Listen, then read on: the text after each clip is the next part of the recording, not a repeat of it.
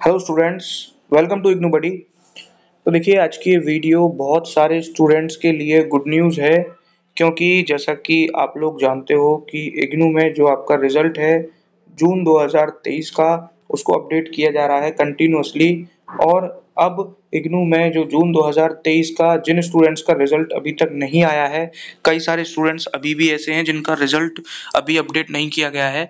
तो उन स्टूडेंट्स के लिए गुड न्यूज़ है, क्योंकि अब इग्नू की तरफ़ से जो आपका रिज़ल्ट है, वो और भी ज़्यादा फास्ट अपडेट किया जाएगा और उसके मैं आपको रीज़न बताता हूँ वो क्यों।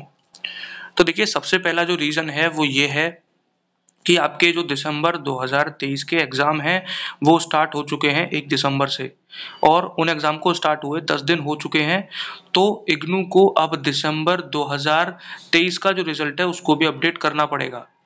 तो आप लोगों को पता है कि इग्नू में जो रिज़ल्ट होता है, वो एग्ज़ाम के साथ साथ ही अपडेट किया जाता है और एग्ज़ाम के स्टार्ट होने के 25 दिन बाद रिज़ल्ट अपडेट होना स्टार्ट हो जाता है। तो इसलिए इग्नू को पहले जून 2023 के स्टूडेंट्स का रिज़ल्ट अपडेट पूरी तरह करना होगा देन उसको जून 2023 का जो रीवैल्यूएशन है, वो भी अपडेट करना है और उसके बाद अब ये दिसंबर 2023 का जो टर्म एंड एग्ज़ाम रिज़ल्ट है, इसको भी अपडेट करना है। तो तीन तीन रिज़ल्ट वो लोग एक साथ अपडेट नहीं कर पाएँगे, इसलिए सबसे पहले वो लोग टर्म एंड एग्ज़ाम जून 2023 का रिज़ल्ट क्लियर करेंगे। जितने ज़्यादा स्टूडेंट्स का वो लोग क्लियर कर सकते हैं। क्योंकि फिर उनको दिसंबर 2023 का जो टर्म एंड एग्ज़ाम रिज़ल्ट है उसको भी अपडेट करना है।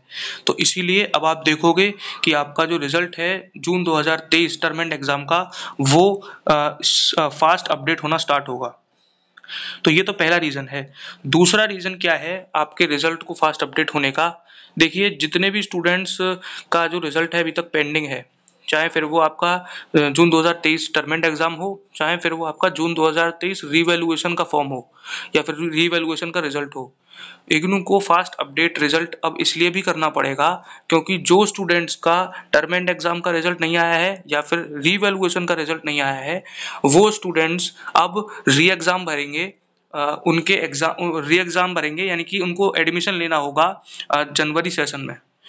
तो जनवरी सेशन में जिन स्टूडेंट्स को एग्ज़ाम जिनको एडमिशन लेना होगा इग्नू में उन स्टूडेंट्स को पास होना ज़रूरी है।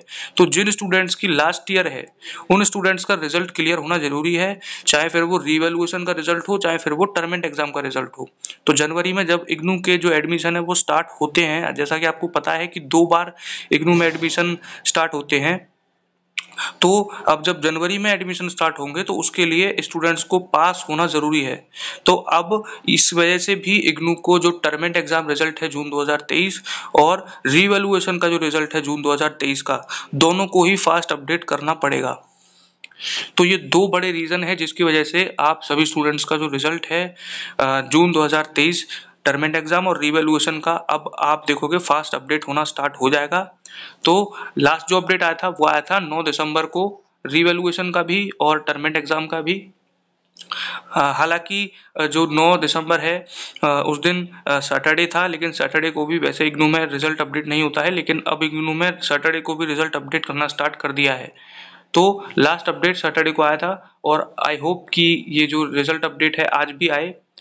तो ये दो ऐसे रीज़न है जिसकी वजह से आपका रिज़ल्ट अब फास्ट अपडेट होगा। तो आई होप ये वीडियो आपको हेल्पफुल लगी होगी।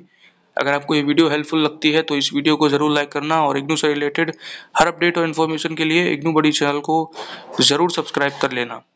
So thank you for watching this video thank you so much